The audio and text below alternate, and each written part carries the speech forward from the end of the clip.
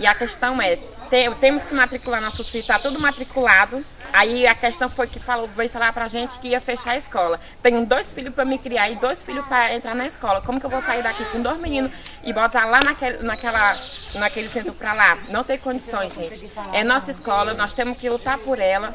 Não pode fechar de jeito nenhum. Eu sou com, com todos aqui. E olha que tem mais gente para vir e não veio, por causa que alguns estão tá trabalhando. Mas é, é nosso dever, nós estamos tá lutando pela escola. Não pode fechar.